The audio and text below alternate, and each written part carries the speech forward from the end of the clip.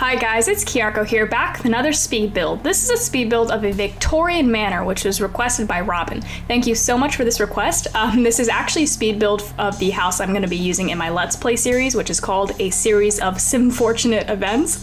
Um, so thank you so much for this request because it fit in perfectly with, with uh, what I was planning to do for my Let's Play, so Yay.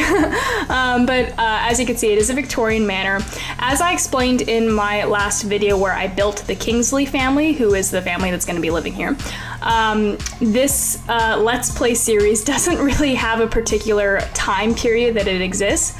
Um, and that's because I was taking inspiration from the uh, movie of a series of unfortunate events in that you can't really tell what time period any anything takes place in. Um, there's a whole bunch of what is it called anachronisms, anachronism. You know what I'm talking about? where things don't exactly fit the time period. You know, people's costumes were a little bit confusing. There's different like kind of technology being used. You just really couldn't tell um, when that movie was taking place. And just to be clear, I've only seen the movie of a series of, of unfortunate events. I've never seen the TV show and I've never read the books. Um, and like I said in my previous video, uh, the Let's Play series is not um, a recreation of the movie. It's not an exact story um, version of the movie. As you can see, I already, you know, the, the family has a different name, they're different characters. Um, I just took inspiration from the idea that these kids are, you know, sadly gonna be orphaned pretty early on in the series. Not to spoil it, but that's kind of what happens. Um, and then they are moved around to all these different houses. They meet all these different crazy characters. Maybe there'll be a mystery element. I'm not quite sure yet how I'll incorporate that into the Let's Play series, but um, we we are definitely gonna have a lot of fun with it. So this is the house that we're gonna start off with. Um, it is the Kingsley family home and it is Victorian inspired. Um, I really like how this turns out. I think it's gonna be really fun to play with. Um, if you guys are familiar with the series of unfortunate events and if you remember how that uh, story begins, we may not be staying at this house very long. It's probably gonna kind of be a pile of ash pretty quickly. Um, but I did want to, you know, spend time building it to create a home for these people to, you know, really give life to the story. Um, and you know, depending on where the story goes, maybe we'll revisit this home. We'll see. But yeah, so I'm just putting it together right now. Um, as you can see, it's quite a large home because you know everyone has their own bedroom, and I really did imagine that this family is very, very wealthy. Um, you know, in the in the movie, I'm pretty sure that they're also pretty wealthy. I think that's part of the whole storyline is that Count Olaf is like trying to steal their inheritance or whatever. Um, so obviously they're very rich. Look how big this house is. It's a beautiful house. I love that um, checkered pattern I chose for the the porch. I think it's so cool. I really like that wood, and I used a lot of different um, windows, some new custom content that I downloaded particularly for this house. Um, but yeah, I'm just trying to figure out my roofing situation here. I kind of put this roof over the porch as like a, a cover up. Um, yeah, it looks very pretty. I like this. I like the little tower part of this Victorian because I, I feel like when I was looking at a lot of um, images of Victorian homes for like inspiration for this build, a lot of them have like little towers like this where it has like a a cone-shaped roof like that. I'm not sure why that is or why that's like a reoccurring thing with, with uh, Victorian architecture, but that's just what I noticed. So I made sure to include one of those um, in this build. But I'm just putting a little, let's see, a little rocking chair on the porch now. I'm gonna put a little table there and you'll see in a second I'm gonna put a little pie on the table.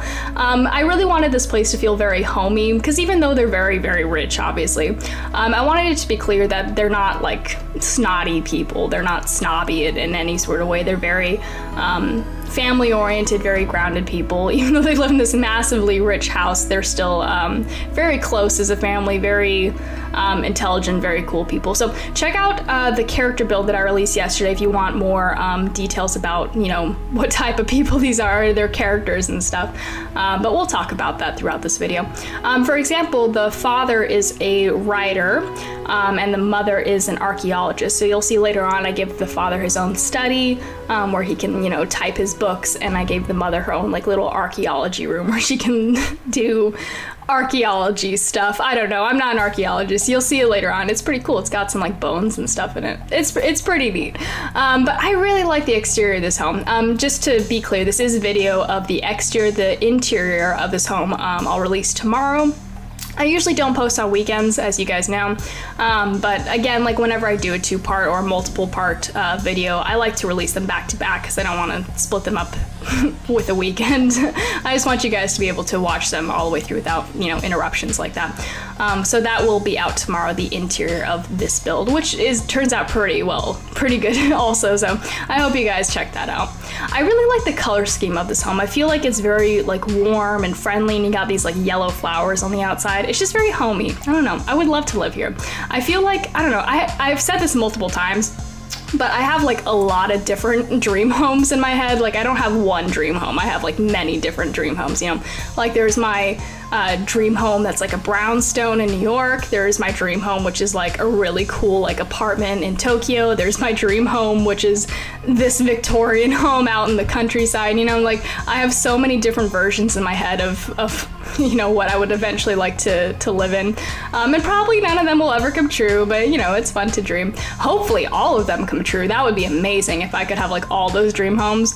But at the same time, I don't think I'm someone who needs multiple homes. I think that's over excessive, but you know, maybe like a an Airbnb or something I'll, I'll make, um, and I'll be there sometimes. I don't know what I'm talking about anymore. Um, but yeah. Anyways, I'm just setting up the outside here. You can see I put some stuff on the side. They are eventually gonna have their own little garden where they can grow their own food. Um, but that's really just for decorative purposes. In the game, that like little garden patch doesn't actually have like a function to it. So it's just for decorative pur purposes. Um, you'll also see that they get their own little chicken coop, which is also for decorative purposes. Because um, the chickens are just going to be like little statues while I'm playing the game. They're not really going to move or anything. Uh, so it might look a little bit weird, but I think it's cute. I like the idea of them just having their own chickens, but you'll see that later on.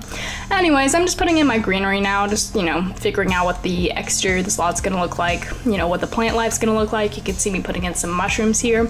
I love putting in mushrooms. I don't know why. They're just so cute. I just love the game, the game mesh of the mushrooms. I think they're so adorable, um, and I really like using them to like really make a space seem like homey and cozy. I don't know why, that's just like my perception of mushrooms like that, like little toadstools, is that they're associated with like hominess and coziness in my brain at least. I don't know why. Um, but yeah, so they got those little mushrooms everywhere. Um, anyways, this is uh, like the car that I'm putting down for them. You can see it's like a cool, really vintage, like old fashioned car. And this kind of goes back to the whole thing of like not knowing what time period this takes place in because I really wanted to you know, feel free in the decisions I was making with interior design, with choosing technology, with choosing like uh, character costumes and stuff like that. I really wanted to just have like total free range, so I didn't really worry um, about making it one time period or another. So it's not necessarily modern times, it's not necessarily old fashioned. It just kind of exists in a, a weird uh, place and time where everything kind of exists at once. So, uh, for example, if you look at the character build that I did of the family, the mother kind of has this really cool, like old fashioned, like uh, frocky uh, lace top that looks like it's from the 1800s, which is so cool. Um, and then other characters just dress a little bit more modern or a little bit more old fashioned. It's just the time period is all over the place and I love it. It's just so fun. Um, but let me know if you guys have any ideas or anything you want to see during the Let's Play. Um, I'm not, you know, I really should have thought this out more before I like went and started talking to you guys about it. Um, I have like an idea of what I'm going to be doing. Like I have like a plan, um, but it's not like a super solid plan. Like all I know right now is that what I want for this Let's Play is just the general idea of a series of unfortunate events in that these children are orphaned, unfortunately, uh, very early on in life. Um, the house burns down, uh, which I'm probably just spoiling the whole story right now, but you guys are probably familiar with the story. Um, and uh, the kids are going to be moved to a whole bunch of different houses like i said earlier. You're going to meet a whole cast of wacky characters stuff like that. The part that i'm unsure about for this let's play is the mystery element because in a series of unfortunate events obviously they're being uh, followed um, and stalked by count olaf who's trying to you know kill off their uh, guardian so he can get their inheritance or whatever the story is. Um, I'm not sure how to implement that like gameplay wise with having like a villain character who's like not part of the household and like have them like kill other like I'm not sure how I could do that so I would really appreciate um, if you guys have any tips or you know if you guys are okay with the storyline just being them moving around until um, uh, Cordelia the eldest like grows up and can take care of them and stuff like that. Just let me know where you would like to see the storyline go, or maybe we'll just we'll wing it. We'll just say, you know, fuck it. We'll just see what happens in the storyline. Um, but that is the build. It's a very, very beautiful house. You can see the interior will be out tomorrow. Please check it out. Um, a lot of a lot of character notes in the interior of the build.